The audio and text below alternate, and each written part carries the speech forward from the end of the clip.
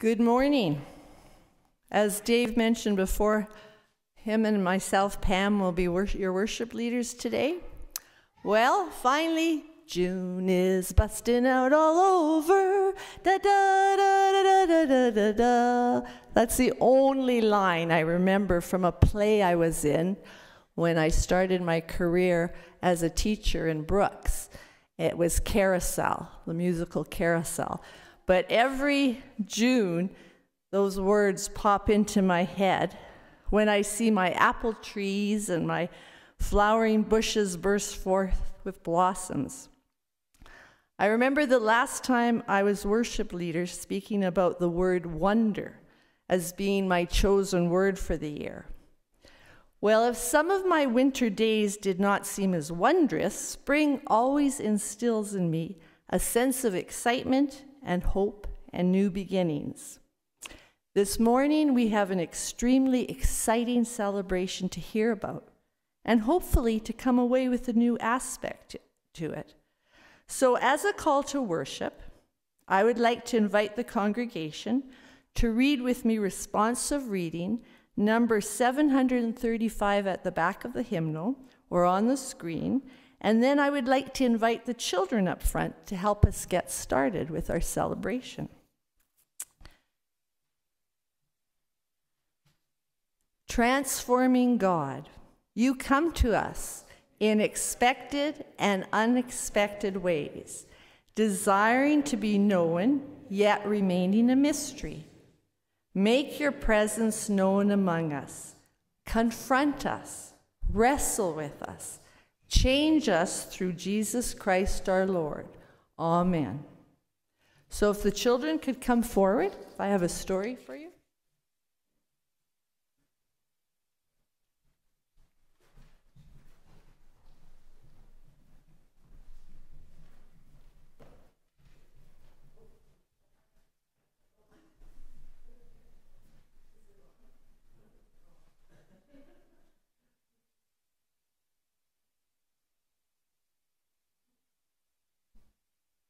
Good morning. Okay, we're going to start off, first of all, playing a little game that years ago we used to call Hangman, but that's not politically correct anymore, so I'm going to call it Hang Daisy.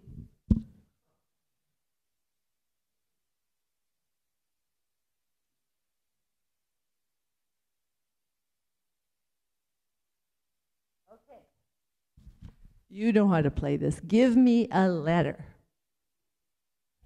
A. No, there's no A. No A. First part of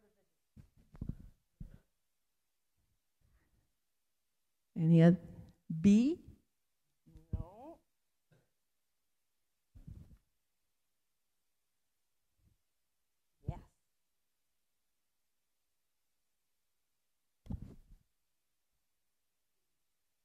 T.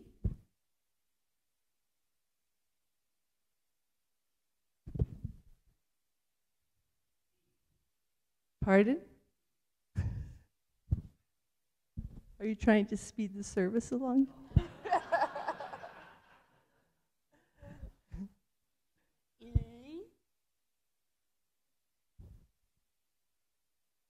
R? No,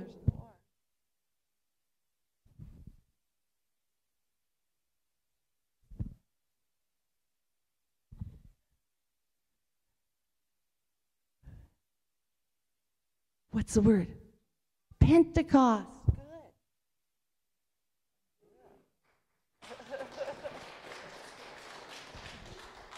So, what is Pentecost? Can you tell me what Pentecost means? You forget. You know what? I loved Pentecost when I was a teacher. You know why I loved it? We got a holiday at John Davidson. Do you get a holiday at St. Joe's for Pentecost? Did you have a day off for Pentecost? Probably. we would get a holiday for Ascension Day and for Pentecost. But when I would ask my students why they were getting the day off, they would say, I don't know. And I'd say, Well, are you going to church tomorrow? And quite often they'd say, No, we're going to Walmart. So when I got to be the Bible teacher, I thought, you know what? We need to talk about what Pentecost means. So I had to do a little research. And Pentecost was actually a celebration that the Jewish people celebrated. It was sort of like our Thanksgiving. They used to celebrate two Thanksgivings. They had one before the harvest and one after the harvest.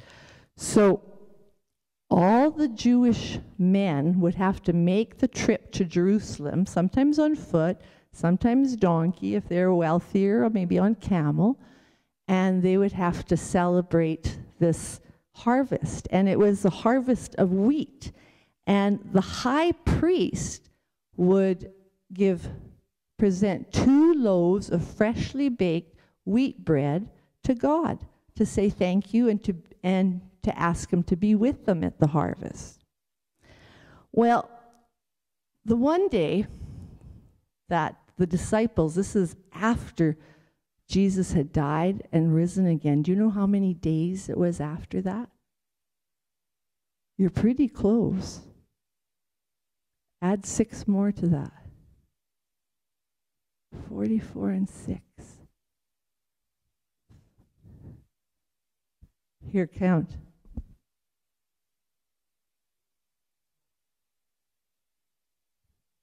I'll do it again. Yeah. It was 50 days, and the disciples were in Jerusalem. And imagine it had only been 50 days since Jesus had died on the cross, had seen their teacher physically die on the cross, and then he rose again. And so they were still feeling, they're kind of mourning still. They were feeling pretty sad, but they were at this special Jewish festival. And suddenly, this huge, huge wind came into the, where they were sitting, where they were meeting. Now, we're from southern Alberta. We know wind.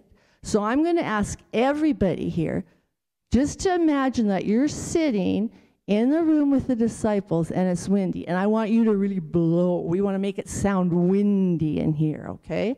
So that's everybody, not just you three, everybody. One, two, three. Oh, that's kind of pathetic. We're from southern Alberta. Come on, you guys. One, two, three. It was so windy. I'm sure the windows were rattling, and people probably, the disciples were looking at each other, and they were probably like, What is going on? And they were probably jumping up and closing the shutters and, and, and, and closing doors and thinking, What is going on? When suddenly something really wild happened. Now, I don't know if this is going to work.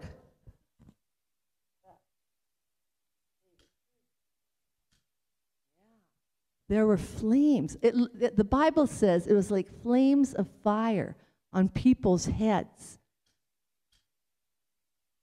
But it didn't burn them, it just looked like flames of fire. So you could imagine. And then something else amazing happened. The, you know, just think of it. Just close your eyes for a minute. Think about these people like this big wind, and then this flames on your head, and suddenly you're going, well, what's going on? But you're not saying it in your language. You're saying it in all kinds of languages. Like we could have French, we could have English, we could have German, Low German, Spanish, everybody, and they were all doing the same thing. They were praising God. They were going like, our God is wonderful, but in all different languages. So I'm wondering how many different languages we have here today. Anybody speak French? German. I know people speak German.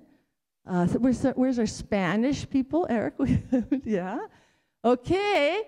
We're going to say, God is wonderful at the count of three, really loud, okay? Because they were like excited. So one, two, three, in your own language. God is wonderful. but you know what happened? Then there were people from all over who were followers of God, and they could hear this. They could hear their own language being spoken. And, and they walked by, I guess, the window or wherever the disciples were, and uh, they, they just couldn't believe it. And he said, what, what is this? These people, have they been drinking? These sound ridiculous, like all these different, all these different languages. And then Peter spoke up, and you know Peter. Peter sometimes did things not quite what, how we would expect he should do them. He sort of just reacted. Well, he got up, and you know what? I think finally at that moment things started to make sense, and I think Peter realized, wow, this is a holy moment. And he started talking about Jesus and him dying on the cross, and about God, and about sending his Holy Spirit to help us while we're on earth. So that is what then Pentecost became when the Christians started to meet together after that. And you know what the Bible says? Guess how many people became believers that day? Who knows? It's a big number. 3,000. So could you imagine we're sitting with the disciples, the big wind, the fire on our heads, and then suddenly 3,000 people come through that door praising God. Whoa, that's a wild story, right? That's half of Coaldale coming through the door for Pentecost. So when you think about Pentecost, think about that was when we had got the gift of the Holy Spirit. And each one of us who are believers in Christ, we have the Holy Spirit in us. We have that, that sense of God within us. And He helps us when we're feeling sad or lonely or have tough situations. So today, when Andrew's speaking, I would like you guys to listen really carefully, and every time you hear the word Pentecost or Spirit or Holy Spirit, I'm giving you some rocket candy. But you can't eat it all. You have to listen. And when you hear those words, then you can eat one candy. Then listen again and see if he says it again. Okay?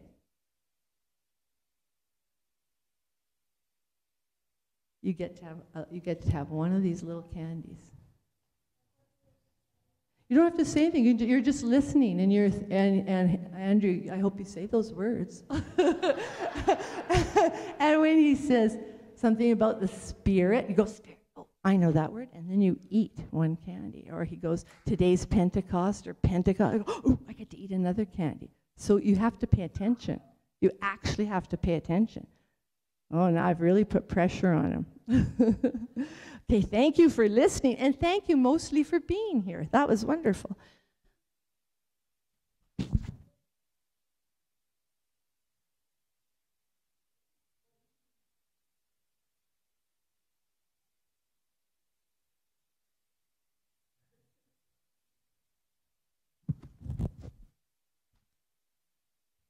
So we'll call on the worship team now at this time.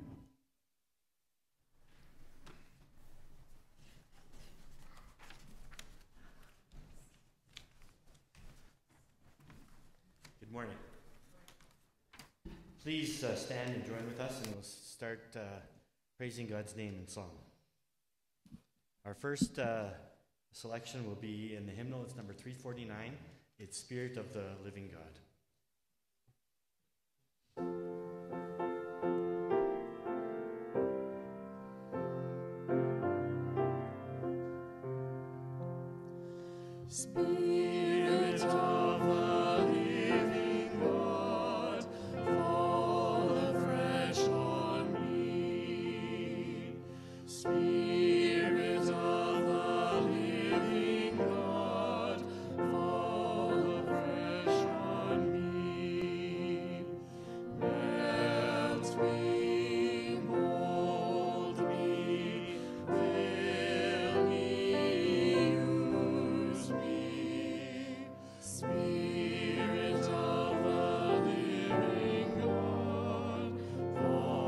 of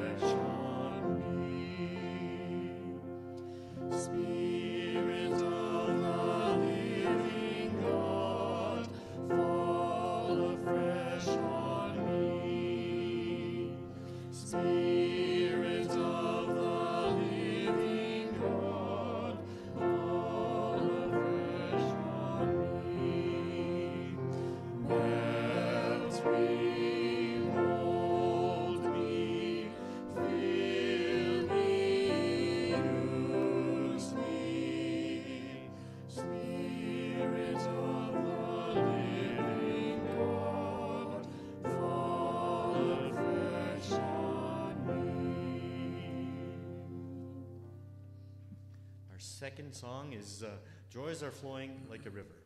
If you're following through the hymnal, it's on page 301. And we will sing one, two, three, and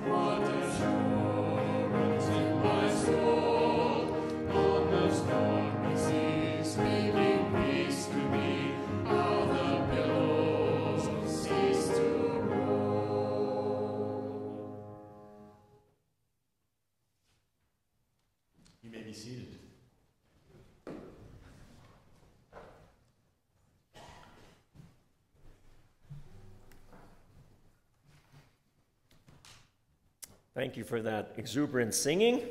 And uh, at this time in the worship service, I am going to read some scripture that Andrew will talk about. Um, I hope you're paying attention to the children's story because that was basically based on Acts 2, verses 1 to 13. And now I'm going to read the continuation of that, Acts 2, verses 14 to 24 starting with verse 14. Then Peter stood up with the eleven, raised his voice, and addressed the crowd Fellow Jews, and all of you who live in Jerusalem, let me explain this to you. Listen carefully to what I say. These people are not drunk, as you suppose. It's only nine in the morning. No, this is what was spoken by the prophet Joel. In the last days, God says, I will pour out my spirit on my people. Your sons and daughters will prophesy. Your young men will see visions. Your old men will dream dreams. Even on my servants, both men and women, I will pour out my spirit in those days, and they will prophesy. I will show wonders in the heavens above and signs on the earth below blood and fire and billows of smoke. The sun will be turned to darkness and the moon to blood before the coming of the great and glorious day of the Lord. And everyone who calls on the name of the Lord will be saved. Fellow Israelites, listen to this. Jesus of Nazareth was a man accredited by God to you by miracles, wonders, and signs, which God did among you through him, as you yourselves know. This man was handed over to you by God's deliberate plan and foreknowledge, and you, with the help of wicked men, put him to death by nailing him to the cross. But God raised him from the dead, freeing him from the agony of death, because it was impossible for death to keep its hold on him. And now we'll have some more singing. Let's stand again and sing number 356 Breathe on Me, Breath of God.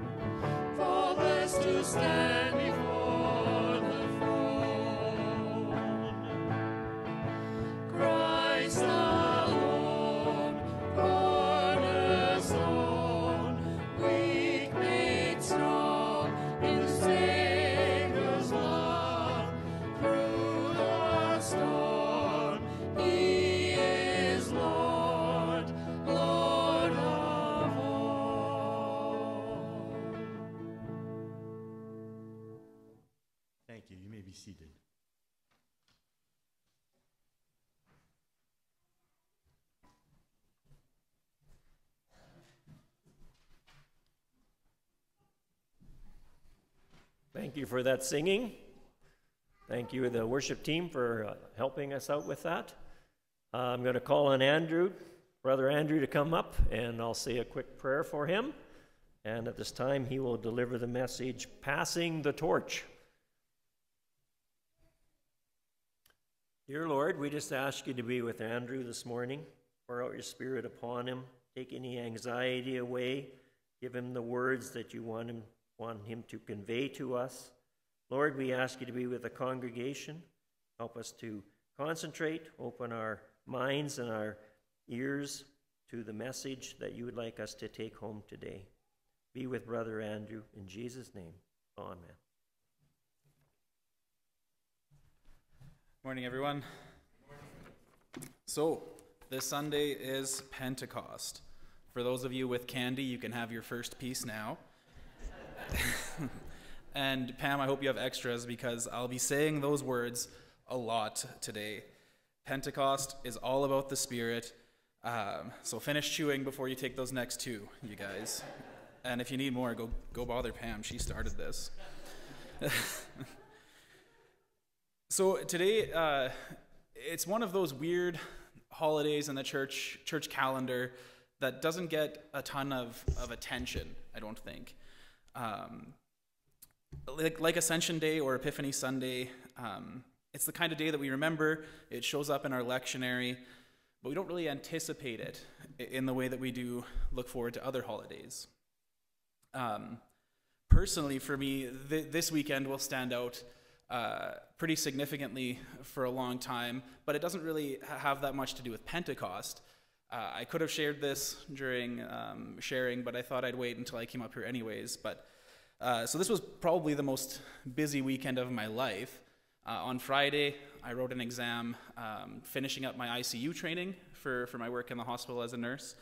Um, so that was quite stressful. And then I had to prepare for this morning, which was also very, very stressful. Um, and then also, uh, because my girlfriend and I are, are both nurses and she's in school and we work shift work and we never see each other very much. Um, yesterday, I decided it was the perfect time to ask her to marry me. So, this has been the busiest weekend I, have ever had. Uh, thank you. um, like I said, we're really busy. Unfortunately, she isn't even here today. Uh, but her name's Rayanne Bowles. Hopefully, some of you have met her, and uh, hopefully, in the near future, the rest of you can as well. Um, but all that, all that to say, uh, this is, I'll remember this weekend forever, but that has very little to do with Pentecost. Um, so, yeah, we, we don't really celebrate Pentecost in the same way that we do celebrate Easter and Christmas. I imagine most of us don't have Pentecost traditions or give gifts or even plan the sort of uh, typical holiday meals or gatherings with family that we do for those other things. We celebrate it in church, we talk about it, the lectionary reminds us when it's coming up. Uh, but I don't think I'm wrong to say that most of us don't really look forward to it. We don't really think about it. But even still, I think that it's, it's worth remembering. Um, hopefully, I don't let the other things from this weekend overshadow Pentecost next, next year. It's, it's a celebration, and, and it reminds us of something that's vital to the life of the church. So, like, like Pam said, she actually saved me a couple paragraphs here. Pentecost predates the coming of Christ. Um, for the ancient Jews, it was a, a, kind of harvest festival, like she said, um, where they offered up first fruits and the harvest to God in celebration of the renewal um, of God's covenant with his people. Um, and Acts 2 is kind of this, in, in, the same sort of framework, same sort of uh, mindset. Um, I think Acts 2 is about renewal and, and passing on the covenant. And so, to really, really talk about the, the scripture that Dave just read before we sang, I think we kind of have to talk about all of Acts 2. Um, the whole passage together is the story of Pentecost, and, and the whole passage together is, is, I think, what we can glean the most of when we, when we look at the whole thing. So uh, we'll quickly go over Acts 2, um, 1 to 13 ish. Pam talked about it, so we won't go too far into depth.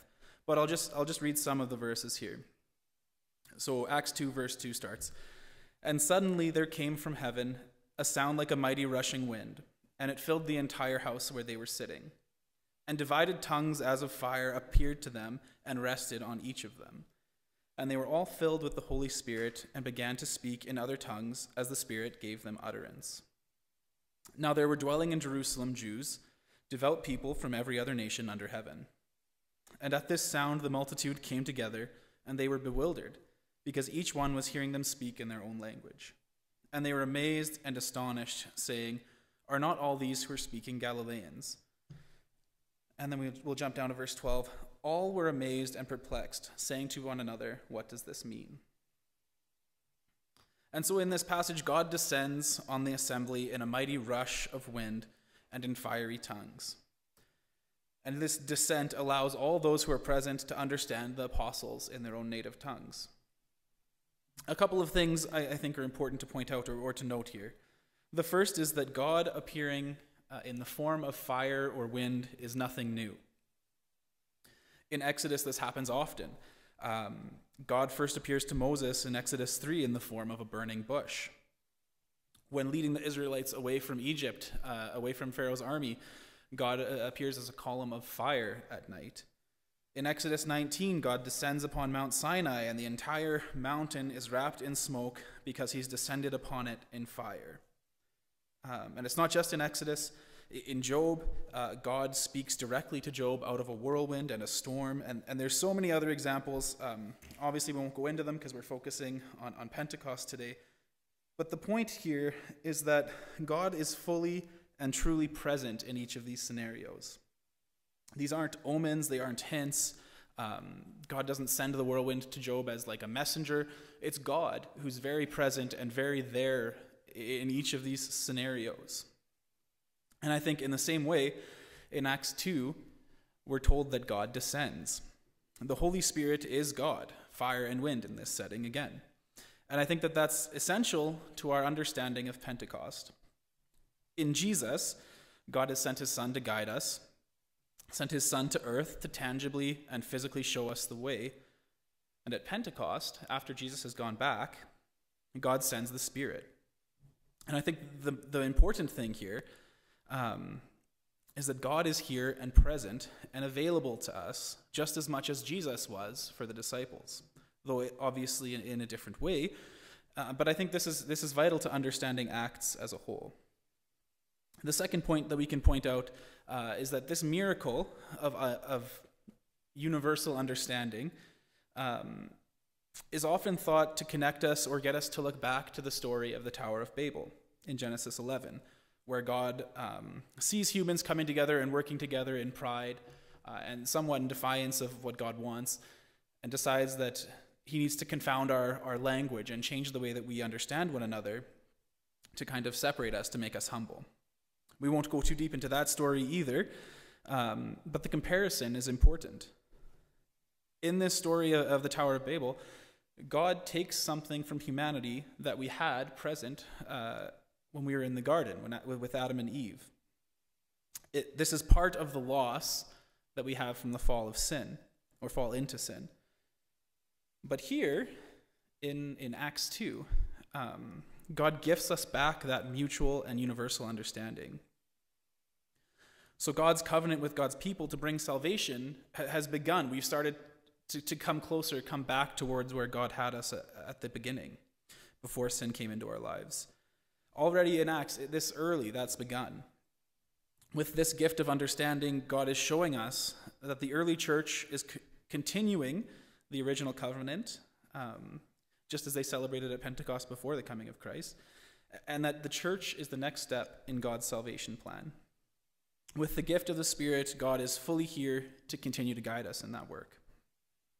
And so that brings us to the next, uh, next part of this passage in Acts 2 that, uh, that Dave read.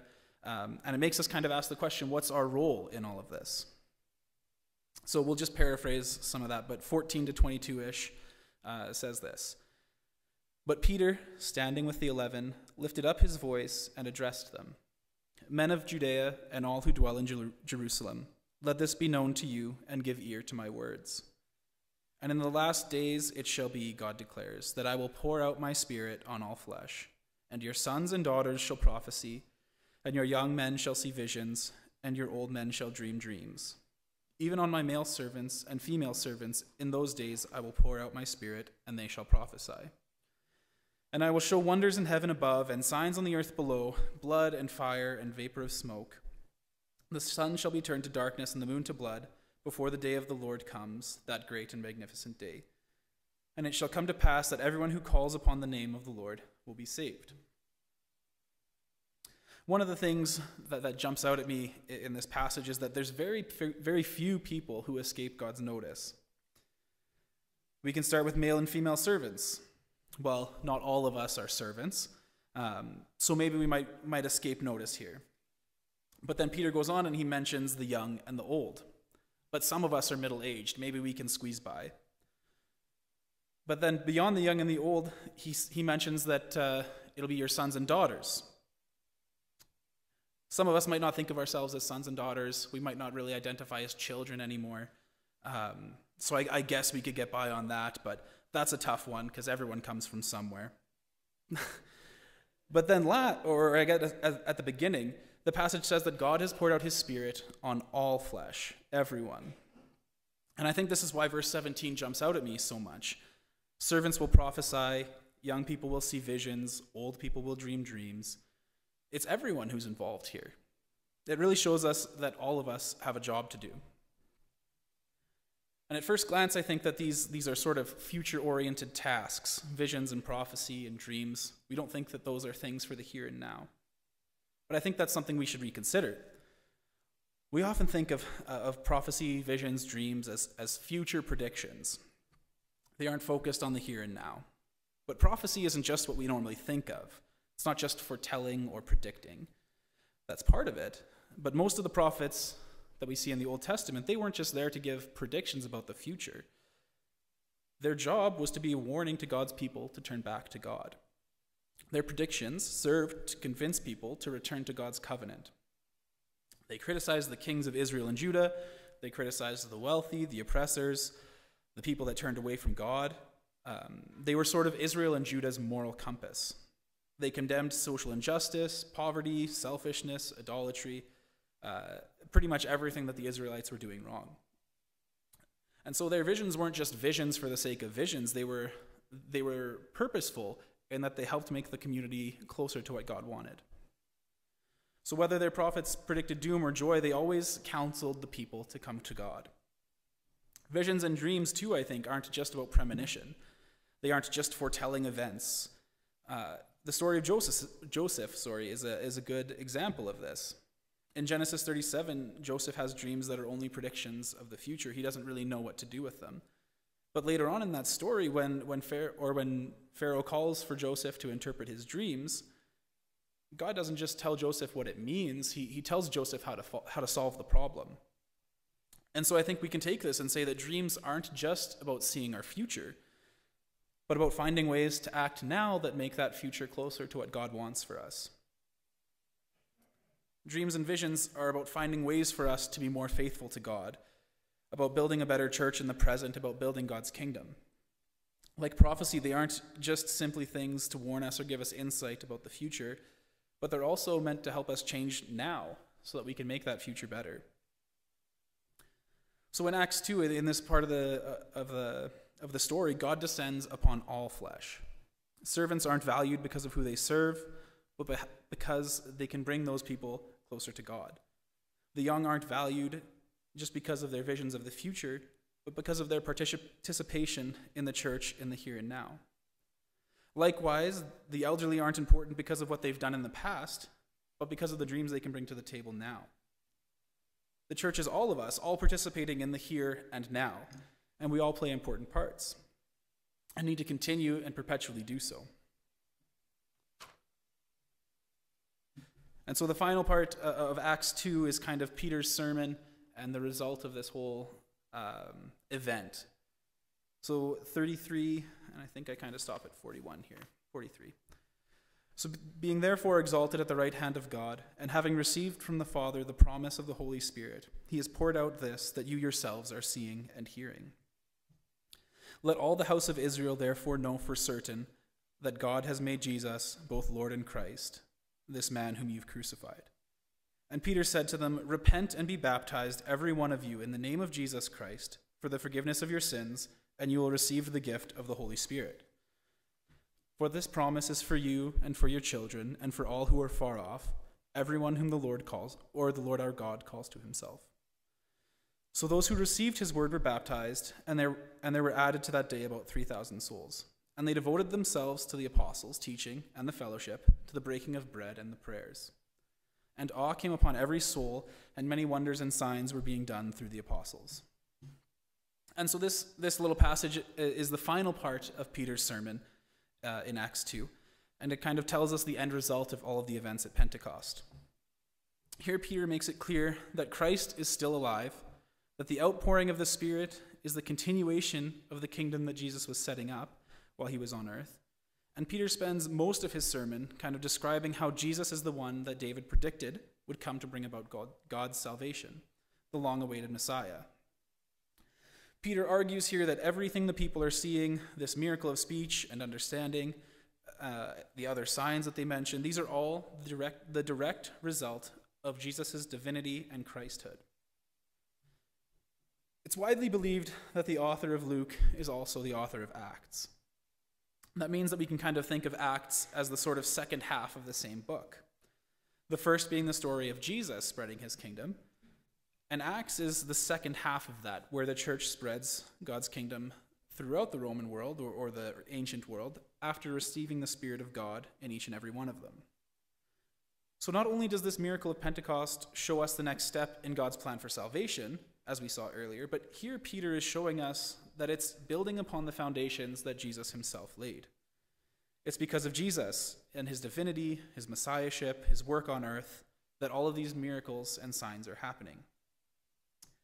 And having Jesus with us is, is integral to the process and to the working of this kingdom. It's, Peter makes it clear that that's the most important thing that he's talking about.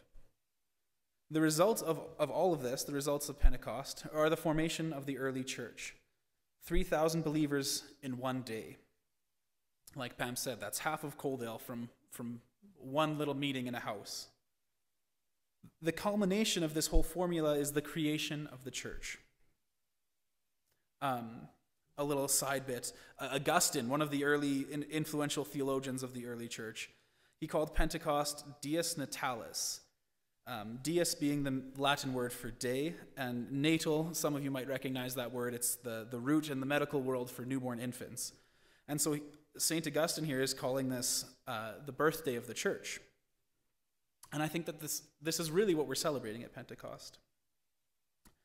So the gift of the Holy Spirit at Pentecost is the continuation and renewal of God's work. It's the descent of God's full presence, presence in the Spirit where we get access to God just as substantially as the disciples had with Jesus. It's the next step in God's work to save the world. It's the continuation of the Old Testament covenant and Jesus' work on earth. And it's also a calling to each of us, I think, to participate in that work of salvation. And finally, Pentecost and Peter's sermon give us proof that we need the Spirit if we're going to be faithful. After Jesus' death, his followers are in disarray. They're disorganized, they're hiding in fear of the authorities and their association with Jesus. But then he comes back from the dead and he returns to the Father, but he doesn't leave us alone again. This time he gives us a parting gift. With the Spirit, we have the result of the birth of the church. And so Acts is this transition from Jesus' ministry while he was walking through Galilee and Judea uh, to the spread of the early church through the gift of his continued presence throughout the world. It's essentially the story of salvation spread through what was then the, the Roman world, first with Peter and then Paul. And this all starts with Pentecost.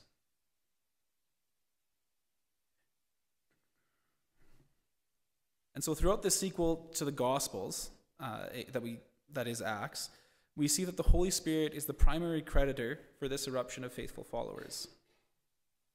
And what that tells me is that if we're to be faithful, if we're to participate in God's work of salvation, then the first step, like in Acts, the first step is to have the Holy Spirit come down into us. Into us, sorry. So Jesus was the first part. Jesus was the connector from God's work in the Old, Old Testament, um, bringing God's kingdom to fruition as he walked and talked and preached throughout Galilee and Jerusalem. But then Jesus returns to the Father and leaves that work of building God's kingdom with us. But he also leaves his Spirit. So he passes the torch on to us, I think, for us to continue his work after he's returned. And that, that part is important that he leaves his spirit with us, because the spirit is the source for success in God's kingdom. That's clear throughout Acts. Um, the Holy Spirit is mentioned 60 times, give or take a few, uh, in the book of Acts, and it's almost always credited with being the source of the disciples' and, and apostles' success. And so Jesus, before sending the, the Spirit, has done all of the work, but now he sent it here for us to take part in it. It's our turn to do something and participate in his kingdom. And so we have to ask ourselves how do we do that? How do we go about that? How do we let God's Spirit call us and move us into faithfulness? And I confess that for me, this is something that I struggle with. Rather than spirituality, I like logic, I like research, I like making arguments. My favorite part of preparing for sermons isn't contemplation or prayer, uh, though I do try to emphasize that. I love the research and the reading, the forming arguments, and putting things onto paper. I, I work hard and I, I want to find faithfulness, faithfulness by working at it or thinking about it. My mind prefers to understand and come to its own conclusions and decisions. And I think to some extent, this is just the way that human brains work. Some of us like to analyze, others like to feel, others have some sort of hybrid mix of both. Um, but for all of us, I think our brains have routines and patterns that we prefer over outside influences. And to some extent, I think that those patterns are good things. They make us different, they make us unique. Um, God made all of us, and they're, they're gifts from God, and, and our personalities are important. God makes use of those things. But I think if we try to get there by ourselves, if we try to, to use our own brains, our own, our own way, we'll get pieces of it. We can get bits and pieces of God's kingdom right, but it won't be enough. We simply aren't able on our own. And the story of Acts, the whole book, in essence, makes that clear to us. Throughout its stories, we see that the only way to be faithful to participate in God's work, to build God's kingdom, is to let the Spirit guide us. God has to come first, and then faithfulness follows. Old dreamers, young visionaries, prophesying servants, sons and daughters, all people, everyone who accepts God's call. We're all given the gift of Christ's presence to guide us as we are witnesses for his kingdom. And that witness is the point of his presence. It's to live like God's kingdom is already here among us in fruition, and to live faithfully and build God's church. And so we need to find ways to let God kind of take over, to let God influence us more than we let ourselves, right? And this is, isn't something that we can just do once and forget about. Christian community, God's word in the Bible, prayer, these are all starting points where we can tune our ears to hear or help our eyes see what our roles are meant to be in God's kingdom. And that'll likely be different for all of us. But these are ways that we can seek to learn to let God be first in our hearts, in our lives, and in our decisions. But like I said, it's not something that we can just do once and forget about. The young can't wait for maturity, they have their visions now. The old can't wait or, or relax because of the faithful things they've done in the past. Their dreams still change the way that we ought to be. It's a present calling for all of us all the time. It's work that never ends on this side of heaven. But at the same time, it isn't work. Like I said before, if we work on our own, we won't get there. We don't do it ourselves, we don't do it alone. That's the whole point of the Spirit. We have God alongside us just as much as the disciples had in Jesus. And so, to, conclude, Pentecost, in essence, is the birth of the church. It's the passing of the torch onto us to become part of God's salvation, to become part of his work. And I think that that's worth celebrating and participating in, or, or sorry, anticipating. It's a continuing call to embrace Christ's presence to allow us to live as faithful witnesses. In the Septuagint, which is the Greek translation of the Old Testament, uh, ancient Greek translation, short, sorry, the same word is used to describe the breath of life that's given to Adam and Eve, as is used to describe the Spirit. The only difference is that it adds the prefix of holiness. So we could call the Spirit the Holy Breath. And I think that that's really true. It's God giving us life a life in Christ, a life in God's kingdom. With the Holy Spirit, we have God fill us and sustain us and work through us and for us. We don't need to find that faithfulness on our own. We can breathe it in and let our lungs do the work. We need to let God in and change us and lead us into faithfulness. And so, in essence, I think Pentecost teaches us that all we need to do is let the Spirit in and find ways to keep letting it in. In doing so, we let God mold us and lead us into faithfulness continually building his church just as the apostles did at Pentecost. And so I hope and pray that all of us can find those ways to do that, to let, to let the Spirit guide us and let the Spirit change us and mold us and make us more faithful as we serve God.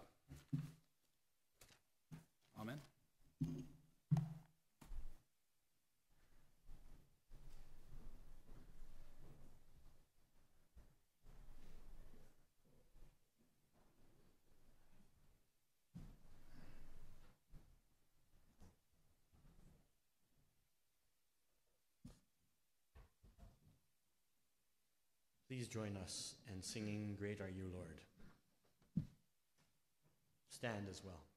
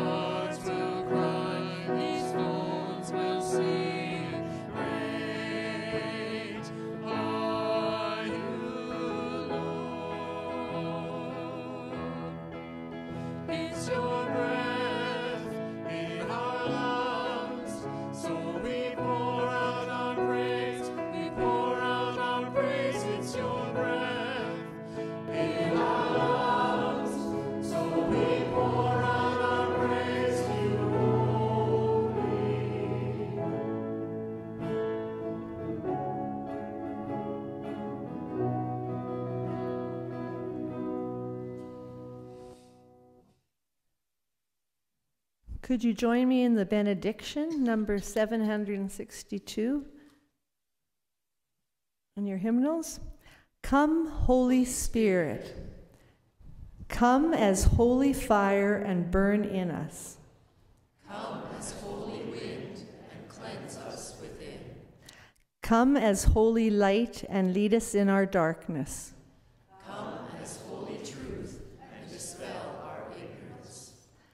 Come as holy life and dwell in us. Send us, abide with us, use us, that the Father may be glorified and our joy be made full. Amen. Go in peace and let the Holy Spirit work in your life this week.